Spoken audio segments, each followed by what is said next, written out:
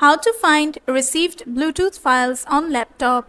Hello friends, my name is Fariha and welcome to my YouTube channel. In this video, I'm going to teach you how you can find received Bluetooth files on laptop or computer. First, you have to open this PC option and then you click on the documents option.